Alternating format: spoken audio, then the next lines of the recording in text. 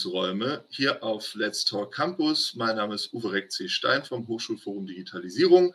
Wir hören jetzt drei Lightning Talks zu jeweils fünf Minuten von unseren Speakerinnen und Speakern, Malte Kleinwort und Ramona Blum. Das ist Nummer eins. Frau Sabrina Zeiter, das ist Nummer zwei. Und Herr Thorsten Philipp, Nummer drei. Fragen können Sie stellen, werden wir am Ende darauf eingehen ich mache den bösen Timekeeper, bin gleich im Hintergrund. Ähm, die QA-Funktion nutzen Sie bitte für Fragen. Den übrigen Zeitraum der noch halben Stunde äh, haben wir dann dafür. Schon jetzt vorab, wenn diese halbe Stunde vorbei ist, unsere Aufnahme endet, haben Sie äh, über die Lobby und die Thementische noch die Möglichkeit, am Thementisch zu diesen Lightning Talks für mindestens eine Viertelstunde teilzunehmen. Ähm, einige der Speakerinnen und Speaker werden sich dann da auch noch mit Ihnen treffen können. So, jetzt beginnen wir mit Malte Kleinwort, Ramona Blum. Ich freue mich auf den Vortrag. Die Zeit läuft, der Rest von uns geht in den Hintergrund. Ja, hallo, mein Name ist Ramona Blum und ich freue mich, heute dabei zu sein, äh, zusammen mit Maite Kleinwort. Ich äh, selbst bin Studentin an der Ruhr-Uni Bochum und äh, studiere dort Germanistik. Und wir berichten heute über erste Wegmarker und Stolpersteine zum Thema hybrider Campus. Ja, auch ein herzliches Willkommen von mir. Mein Name ist Malte Kleinwort. Ich bin eigentlich Literaturwissenschaftler von Haus aus und äh, Digitalbeauftragter der ähm, Fakultät für Philologie an der Ruhr-Universität in Bochum und arbeite seit 2020 sehr eng und äh, erfolgreich zusammen in einem Student aus Studenten und Lehrenden zusammengesetzten Projektteam, das sich die Philolotsen nennt. Ja, und ich persönlich war auch dabei, als im Sommer 2021 dieses Projektteam der Philolotsen, eben ein Team aus Studierenden und Lehrenden, damit begann, die Voraussetzungen für hybride Lehrformate an unserer Fakultät für Philologie an der Ruhr-Uni Bochum zu schaffen. Leitend war die Frage, welche technischen und welche didaktischen Voraussetzungen sind nötig, um hybride Lernszenarien anbieten zu können. Ja, und wir wollen heute einmal kurz von, davon berichten, welche technischen Umsetzungen und welche Stellen der Universität da auf welche Weise miteinander zusammenarbeiten mussten und was andere Universitäten eventuell davon lernen könnten. Und jetzt stellen wir nacheinander jeweils drei Stolpersteine, drei Wegmarken und drei Lösungsansätze vor. Ich beginne mit dem ersten Stolperstein. Unterschiedliche Stellen sind verantwortlich für eine optimale technische Infrastruktur. Ich denke, diejenigen, die da schon etwas versucht haben, werden davon ihr Leid auch klagen können. Für WLAN ist jemand anders zuständig als für die Computer, die in den Räumen vorhanden sind. Für die Kosten fühlt sich eigentlich niemand so richtig verantwortlich. Da muss man dann gucken, wer das dann wirklich tragen möchte und wie motiviert die einzelnen Stellen sind und welche Töpfe es da gibt.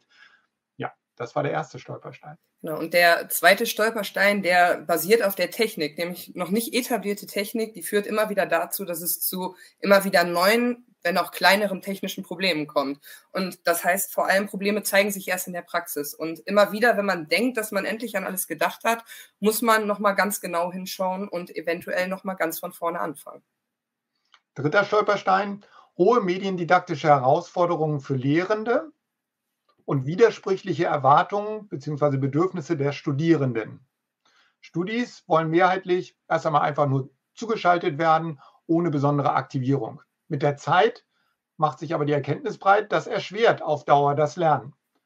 Bei Lehrenden ist es so, dass sie häufig gerade mal das Zuschalten ähm, hinbekommen, sofern sie nicht vorher dafür ausgebildet worden sind und auch leicht durch das äh, hybride Lernen und Lehren überfordert sind. Mit der Zeit ähm, stellen Sie dann aber auch fest, dass äh, Sie Ihre didaktischen Möglichkeiten erweitern müssen, wenn tatsächlich auch für die Zugeschalteten optimale Lernbedingungen geschaffen werden wollen. Ja, und um überhaupt mit diesen Stolpersteinen in Berührung zu kommen, gab es natürlich erste Wegmarker. Und der allererste dafür war wohl, dass unsere Fakultät für Philologie sich dazu entschieden hat, im Sommersemester möglichst alle Seminarräume so auszustatten, dass es in ihnen hybriden Unterricht geben kann. Zweite Wegmarke, im Spätherbst 2021 sind die Mehrheit der Seminarräume für hybride Lernphasen ausgestattet und der WLAN-Empfang ist in den meisten Räumen gut bis sehr gut.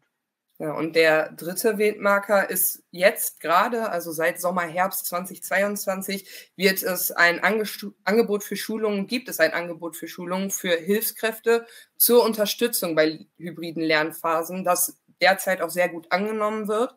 Und äh, das Ganze unterstützen wir noch mit Hybrid-Handbüchern und Erklärvideos auf unserem YouTube-Kanal. Jetzt kommen die drei Lösungsansätze. Erster Lösungsansatz. Probleme erkennen, kommunizieren und Informationen bündeln. Das hatten wir eben schon. Dafür sind agile Konzepte nötig, wie sie in dem äh, Projektteam Philolotsen ähm, vollzogen werden. Kommunikatives Geschick und geeignete Informationsformate, Videos, Handouts etc. Genau. Und der zweite Lösungsansatz und für uns unglaublich wichtig ist, Evaluation ist kein Einmalgeschäft und Rückkopplungsschleifen müssen einfach etabliert werden. Ähm, das heißt, wir müssen immer wieder rekapitulieren, was haben wir gerade erreicht und wie kommen wir noch weiter voran. Und wir müssen neue Wegmarker setzen, damit neue Lösungen weiter etabliert werden können. Dritter Lösungsansatz, geeignete Modelle zur Schulung bzw. didaktischen Kompetenzerweiterung entwickeln. Auf dem Umweg über Hilfskräfte können didaktische Kompetenzen bei den Lehrenden ankommen. Formate müssen zur Zielgruppe passen. Eher Videos für Studis und eher Handbücher für Lehrende. Genau, und in diesem Sinne und weil unsere Zeit jetzt wirklich vorüber ist, bleibt uns nur ein vielen Dank an alle Organisatorinnen und für ihre Aufmerksamkeit. Wir selbst haben immer wieder Interesse an Austausch und Diskussionen und über die Frage zu sprechen, welche Erfahrungen haben denn eigentlich andere Universitäten gemacht. Dankeschön. Das war hervorragendes Timekeeping. Ganz vielen Dank in eigener Sache. Ähm, ich freue mich sehr, von den Philolotsen mal wieder gehört zu haben. Wir haben vor äh, ein paar Monaten ein äh, tolles Interview geführt mit zwei Projektmitgliedern. Wenn unsere Website zur AG Digitalisierung in den Fächern an den Start geht, äh, dann werden Sie alle in der Audience das auch auf unserer Website finden.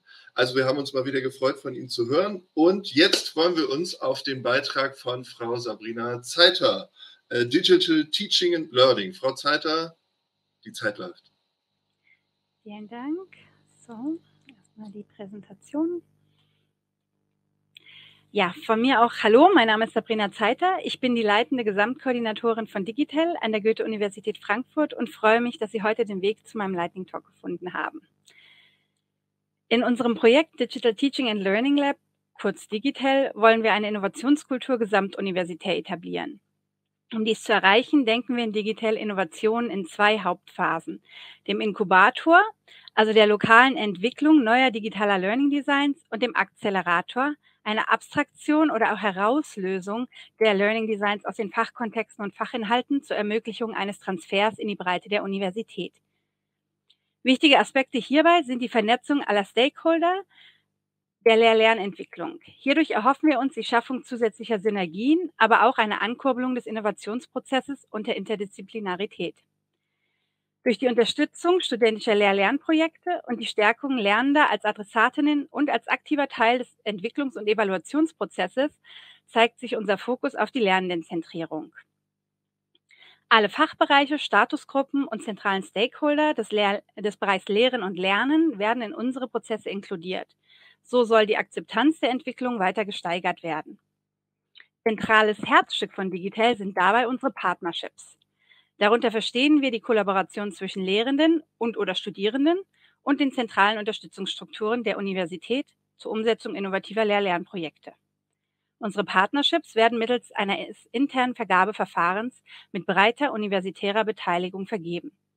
Zusätzlich begleitet und unterstützt ein Projektbeirat unserer Prozesse kritisch konstruktiv. Konkret befassen wir uns mit den Bereichen Methoden und Vermittlung sowie Feedback und Aktivierung.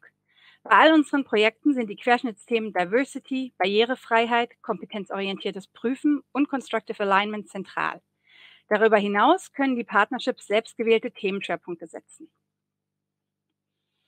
Digital hat zudem weitreichende Unterstützungsstrukturen implementiert. Diese beraten Innovatorinnen bei der, äh, bei der Vermeidung digitaler Treppenstufen, dem kompetenzorientierten Prüfen und dem Constructive Alignment der neuen Learning Designs.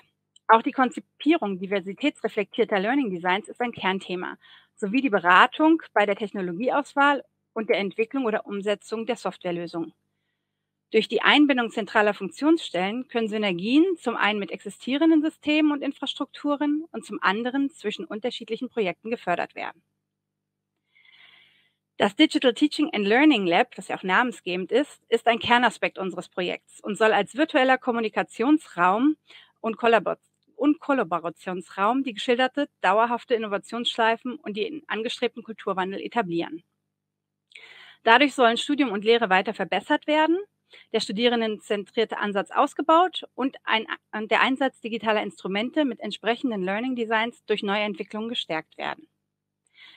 Das Digital Lab wurde in einer Confluence-Instanz umgesetzt und dient insbesondere der Unterstützung der Partnerships im zum einen Projektmanagement, zum anderen zur kontinuierlichen Vernetzung mit den Beratungsstellen und zum dritten zur Förderung des Austauschs der Projekte untereinander. In Digital gibt es zwei Ausschreibungsrunden für die Partnerships. In der ersten Ausschreibungsrunde werden, wurden oder werden gerade 19 Partnerships gefördert. Eine detaillierte Beschreibung der Partnerships findet sich auf unserer Webseite. Derzeit läuft die Antragsbegutachtung zur zweiten Förderphase, die nächstes Jahr startet, in der wir 20 weitere Partnerships oder neue Partnerships fördern können. Einer der nächsten Fokusaspekte wird die Vernetzung sein. Hierzu etablieren wir sowohl digitale als auch analoge Austausch- und Vernetzungsformate. Außerdem arbeiten wir an dem Ausbau der Lab-Strukturen und erweitern diese um einen Experimentierraum zur Live-Erprobung der Learning Designs. Ähm, das ist unser sogenanntes Holodeck. Da sollen Ängste abgebaut und die Dissemination unserer Entwicklung in die Breite gestärkt werden. Der letzte Punkt ist die Verstetigung. Ähm, zur Verstetigung arbeiten wir darüber hinaus an der Entwicklung von Konzepten zur curricularen Verankerung der Learning Designs. Denn unserer Meinung nach kann nur durch eine Übernahme der Neuentwicklung in den Regelbetrieb und, in, äh, und durch eine uniweite Verfügbarmachung Nachhaltigkeit erreicht werden. Auch die Öffentlichkeitsarbeit, das darf man nicht vergessen, sollte nicht vernachlässigt werden, nach innen sowie nach außen. Vielen Dank für Ihre Aufmerksamkeit. Fantastisch, dann bin ich fast arbeitslos als Timekeeper. Frau Philipp, auch Ihnen vielen Dank. Ähm, schreiben Sie gerne, ich sehe schon im Chat, gibt es immer mal einige Fragen. Äh, wir machen das im Nachgang. Ich behalte auch im Auge, was Sie teilweise jetzt untereinander schon schreiben, dass wir das für die Aufnahme auch noch äh, hörbar machen. Äh, dann darf ich jetzt übergeben an Herrn Thorsten Philipp. Wir freuen uns auf den äh, erst einmal letzten Lightning Talk jetzt und dann bitteschön, die Zeit läuft. Ja, vielen Dank. Ich darf meine fünf Minuten nutzen, um Sie mit einem Lehr-Lernprojekt aus Berlin vertraut zu machen. Mein Name ist Thorsten Philipp. Ich bin wissenschaftlicher Referent im Präsidium der TU Berlin und befasse mich mit transdisziplinärer Lehre, also mit Lehrprojekten am Zusammenspiel, im Zusammenspiel zwischen Universität und Gesellschaft. Was wäre, wenn wir Universität einmal nicht auf dem geschützten Raum des Campus, sondern außerhalb, zum Beispiel in einem Einkaufszentrum erfahren würden. Das ist die etwas verrückte, aber am Ende sehr heitere und auch durchaus spannende Frage gewesen, die uns verleitet hat, eine 380 Quadratmeter Fläche in einem Einkaufszentrum, in einer Shopping Mall in Charlottenburg-Wilmersdorf zu mieten. Der Leerstand äh, des Einzelhandels kam uns ein wenig zur Hilfe, sehr günstige Konditionen zu finden. Und so waren wir acht Monate zu Gast mit äh, sehr verschiedenen Formaten in der Mitte einer Einkaufswelt. Sehr untypisch also ähm, hier Universität und Studierende und ähm, Forscherinnen und Forscher, Spitzenforscherinnen ähm, anzutreffen. Und ähm, der ähm, die Genese dieses Raums in aller Kürze bestand darin, dass äh, Studierende der Fakultät für Architektur der TU Berlin die Aufgabe hatten, einen bestehenden Raum, der von dem äh, Vormieter zurückgelassen wurde mit allen Inhalten, ähm, wie Sie hier auf den Fotos sehen, äh, umzuwandeln in eine Lehr- und Lernsituation. Der Vormieter war insolvent gegangen und hatte einfach alles stehen und liegen lassen, auch eine Realität ähm, im Konsumzeitalter. Und ähm, die Aufgabe an die Studierenden bestand also darin, diese Materialien ähm, kreativ einzusetzen, so wenig neue Materialien wie möglich anzuwenden und daraus dann eine neue Raumsituation zu schaffen, in der ähm, wir als Universität uns in diesem Einkaufszentrum einbringen können. Das war die, Auf, ähm, die Vorbereitungsphase, bei der es sehr lange erst einmal darum ging, hier sich ähm, reflexiv den Raum zu erschließen und zu überlegen, wie wollen wir eigentlich sein in einer, inmitten einer Konsumwelt, ähm, die uns in vielerlei Hinsicht fremd ist. Und ähm, am Ende eines ähm, circa zweimonatigen Prozesses kam dieser Raum heraus, der ähm, dann für weitere sieben Monate genutzt wurde, um unterschiedliche Formate, die sonst am geschützten Raum des Campus stattfinden, nun auf einmal in einer Konsumwelt, in einem, ähm, in einem Shopping-Umfeld mit kapitalistischer Verwertungslogik ähm, durchzuführen. Mall Anders war im Tagesbetrieb ähm, eine offene Fläche, in der man einfach vorbeispazieren konnte, Kaffee trinken konnte und ähm, sich die eine oder andere Sache erklären konnte. Es war häufig genutzt von Studierenden auch als, eine, als ein Raum für Workshop-Situationen, insbesondere die Projektwerkstätten der TU Berlin. Das ist ja so eine Art äh, Studierenden äh, initiierte und von Studierenden selbst geführte Lernveranstaltungen, Lehrveranstaltungen haben diesen Raum ausführlich genutzt. Hier waren häufig die Passantinnen und Passanten natürlich eher in einer passiven Situation, dass sie denen etwas über die Schulter schauen konnten oder sich auch einfach einmal wundern konnten, was hier eigentlich passiert.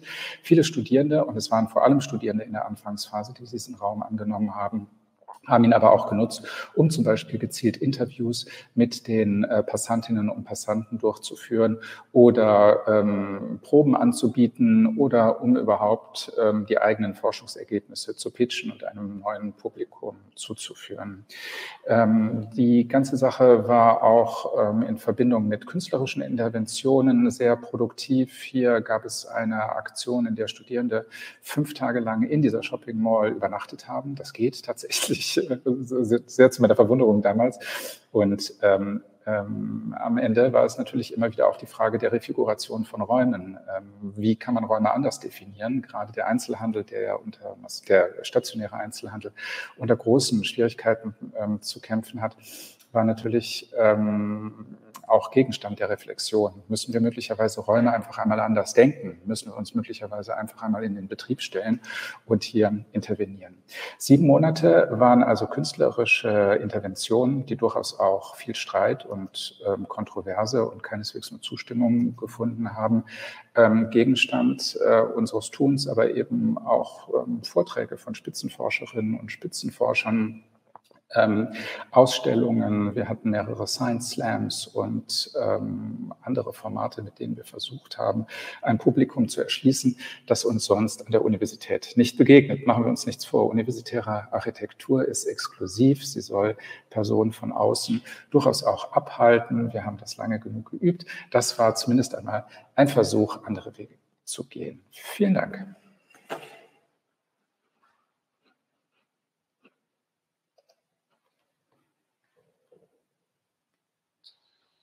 Ganz vielen Dank auch. Ich möchte die ähm, regen Gespräche im Chat etwas aufgreifen, damit auch alle, die später einmal die Aufzeichnung dieser sehr interessanten und ich finde absolut kurzweiligen und spannenden Lightning Talks äh, dann nachgucken, dass die auch diese Fragen mitverfolgen können. Ähm, da fange ich einmal an zum ersten. Eine Frage noch an Herrn Kleinwort. Herr Kleinwort, Sie haben darauf geantwortet. Verstehen Sie unter Hybrid ein Äquivalent zu Blend Learning? Würden Sie das nochmal ähm, für, für uns äh, und für die Aufnahme in, in wenigen Sätzen zusammenfassen können wollen? Ja, nur ganz kurz, äh, Blended Learning ist etwas anderes. Also wir haben einen engeren Begriff von Hybrid, wie wir ihn auch, ähm, also wie wir auch vorschlagen würden, dass er grundsätzlich auch in der Community benutzt werden sollte, um auch Sachen unterscheiden zu können. Hybrid bedeutet lediglich eine synchrone Lernphase, in der Studierende im Raum gemeinsam mit zugeschalteten Studierenden lernen. Und die Lehrperson kann zugeschaltet sein oder selbst im Raum sein. Das ist unsere Definition von Hybrid. Insofern haben wir einen großen Teil dessen, was digital unterstützte Lehre ausmacht. Asynchrone Wechsel zwischen asynchron und synchron ist damit nicht gefasst.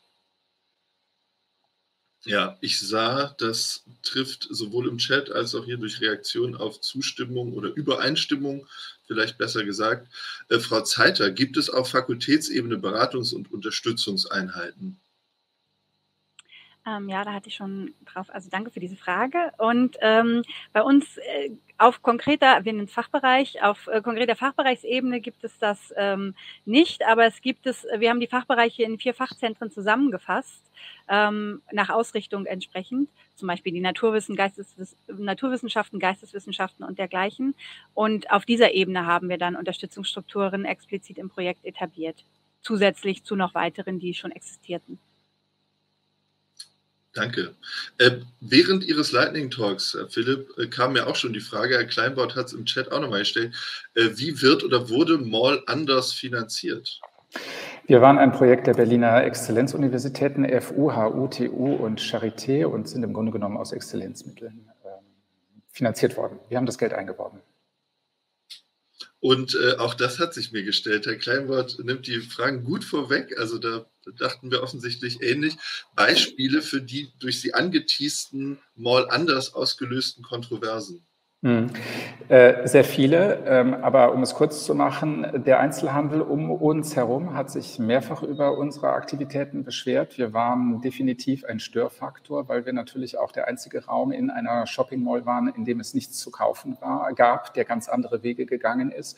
Und man muss sich, äh, man äh, darf sich nicht täuschen, die Präsenz von Studierenden und der kreativen Energie, die sie mitbringen und natürlich auch der kritischen Fragen, die sie einbringen in einen Konsumkontext, wird mhm. natürlich keine Kuschelsituation hervorrufen, äh, sondern im Gegenteil. Ich glaube, wir haben in der Summe äh, eine wirklich partnerschaftliche Gesamtsituation geschaffen, aber das führte nicht daran vorbei, dass wir eben auch verschiedene Interessen verfolgen. Wir sind eben als TU Berlin oder als Berliner Universitäten sicher kein Einzelhandel und äh, wollten auch was ganz anderes weil der Chat wahrscheinlich in der Aufzeichnung da nicht zu sehen sein wird, auch nochmal der Hinweis von Ihnen, www.mall-anders.berlin.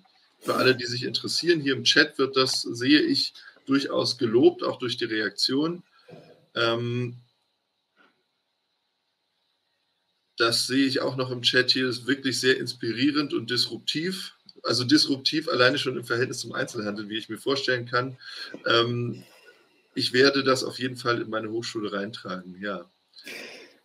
Kann man machen, ne? Es gibt aber eben auch viele Voraussetzungen. Es war schon auch eine sehr glückliche Situation und ich könnte jetzt noch sehr lange reden. Was sind natürlich die ganzen Hürden, über die wir auch gelernt haben? Wir haben uns so vieles so leicht vorgestellt und sind teilweise über völlig banale Dinge auch gestolpert. Mhm. Aber ähm, das wäre ein zweiter Vortrag dann. Ich habe noch eine Frage an Herrn Kleinwort, Frau Blum. Äh, die Philolotsen sind ja geisteswissenschaftlich ja, aus der Philologie. Wie übertragbar halten Sie das denn? Also ich glaube, es gibt sehr kleine Schritte in andere äh, Geisteswissenschaften, aber jetzt vielleicht gibt es größere Schritte zu ganz anderen Fachkulturen. Äh, was davon wäre übertragbar, was eignet sich vielleicht überhaupt nicht? Ähm, vielleicht äh, greife ich da direkt mal rein, weil ich dieses Gespräch äh, schon häufiger geführt habe. Ähm, gerade der technische Aspekt ist ja doch äh, der hybriden Lehre, ich glaube, der ist universell. Also wenn es da um basale Grundausstattung von Seminarräumen geht, um Partizipation barrierefrei für jeden möglich zu machen, dann reden wir über ein Raummikrofon und eine Kamera. Und das ist unabhängig davon, ob ich in der Philologie bin, ob ich in den Naturwissenschaften unterwegs bin. Zumindest wenn es darum geht, vor allem auch sowas wie Vorlesungsformate zugänglicher zu machen und so ein bisschen dem Zeitgeist auch für Präsenzuniversitäten, ich setze das extra mal in Anführungszeichen, zu schaffen, dass man eben auch der Lebenswirklichkeit von Studierenden ein bisschen entgegenkommt, finde ich, ist das doch durchaus ein Konzept, gerade in technischen Aspekten, das nahtlos fast auf alle Räume übertragbar ist. Herr Kleinwort, Sie sind auch schon darauf eingegangen. Ich sah aber eben noch die Frage, wie haben Sie die didaktischen Unterstützungsangebote in die Breite gebracht? Also durch welche Formate? Allein multipliziert durch studentische Hilfskräfte? Fragezeichen. Gibt es auch ein Angebot seitens der zentralen Einrichtungen und wissenschaftlichen Mitarbeitenden? Also ich denke, da ist es wirklich wichtig, dass wir, dass jeder und jede, die da etwas machen möchte, die konkreten Voraussetzungen vor Ort betrachten muss wir haben eben die Corona-Pandemie eben auch als eine Chance gesehen, uns als einen verlässlichen Partner für die Lehrenden und Studierenden ins Feld zu bringen und sind es mittlerweile geworden. Wir, wir, wir sind bekannt, wir haben durch Flyer uns bekannt gemacht und äh, die, die Menschen wissen, sie können auf uns zukommen, wenn sie irgendwelche Probleme haben und nehmen von daher unsere Ratschläge, die wir auch jedes Semester erneuern, äh, auf der Grundlage von Umfragen, Auswertung von Umfragen und Webinaren, indem wir die Auswertung in Empfehlungen ummünzen, nehmen Sie diese auch an und werden Sie nicht einfach in die Ecke, äh, die Ecke legen. Also ich glaube eben, äh, einen Prozess zu schaffen, in dem gegenseitiges Vertrauen und Sichtbarkeit geschaffen wird. Die Frage an Frau Zeiter mit den auf Fakultätsebene ähm, kommt daher, dass wir an der RUP sehr weit sind mit guten Unterstützungsangeboten, die aber nicht bei den Lehrenden ankommen, weil sich dafür nur ein Bruchteil der Lehrenden interessiert. Und mhm. auf Fakultätsebene ist es leichter, eine große Sichtbarkeit ähm, zu schaffen und auch den Prozess des Zusammenwirkens studentischer und äh, der Interessen von Studierenden und Lehrenden so zu gestalten, dass er auch sichtbar wird in der Fakultätsöffentlichkeit. Dankeschön. Da, deshalb nochmal Werbung in eigener Sache. Wir versuchen deshalb auch nochmal genauer auf die Bedarfe unterschiedlicher äh, Fachkulturen zu gucken. Deshalb haben wir zum Beispiel die Digitalisierung in den Fächern AGs, die bald mit ihren eigenen Themendossiers passieren und aber auch die Fachbereichsberatung, die also einen spezifischeren Blick wagen. Hier nochmal von Frau Blum der Hinweis im Chat philolotsen.blogs.ruhr-uni-bochum.de. Das ist ganz leicht zu finden, da spreche ich aus Erfahrung. Weitere Fragen bei Interesse an unserer Partnerships, Frau Zeiter, vielen Dank. Ähm, den äh, Link ich sage es jetzt trotzdem, äh, uni-frankfurt.de 106-208-100 slash Partnerships. Sie finden aber natürlich in der Aufzeichnung ähm, das alles. Sie können uns kontaktieren, dadurch auch die Speakerinnen und Speaker. Äh, wir vermitteln da immer gerne. Äh, die Projekte sind, äh, da bin ich so frech, das ganz, ganz sicher anzunehmen, äh, alle gut online, äh, aber zu erreichen. Genauso die Speakerinnen und Speaker auch. Im Zweifel, wie gesagt, vermitteln wir auch gern. Wir hätten noch zwei Minuten, deshalb noch einmal das Angebot für ein oder zwei Fragen im Chat. Ich nutze die Zeit auch darauf hinzuweisen, wenn wir dann gleich die Lobby schließen, haben Sie die Möglichkeit, äh, über die Lightning Talks die Inhalte in diese Projekte und Anliegen in einem Thementisch weiter zu diskutieren, den Sie über die Lobby erreichen. Ich sehe, das ist jetzt erst einmal nicht so. Dann leite ich einfach über zu noch einmal einem ganz herzlichen Dank an Malte Kleinbott und Ramona Blum, an Sabrina Zeiter und an Thorsten Philipp. Ich glaube, wir sprechen für alle. Ah, doch, ähm, vielleicht keine Frage, das gebe ich noch mit, bevor ich Sie alle entlasse. Vielleicht keine Frage, sondern Erfahrungsaustausch. Gerne könnt ihr über unsere Blend Learning Projekte lesen an der FH Technikum Wien. So, den Link, das verzeihen Sie mir, äh, gebe ich jetzt nicht an, aber bitte nachgucken. Vielen Dank äh, in den Chat. Vielen Dank fürs Zuschauen und Mitmachen und vielen Dank nochmal an die Speakerinnen und Speaker. Jetzt doch allen noch äh, einen ganz wundervollen vollen Tag bei Let's Talk Campus und allen hoffe ich, es hat so viel Freude gemacht und war so kurzweilig beim Zuschauen, auch für die, die das später einmal über unsere Kanäle und Social Media nachgucken. Also, alles Liebe, alles Gute. Auf bald. Herzlichen Dank. Dankeschön. Vielen Dank. Tschüss. Tschüss. Danke.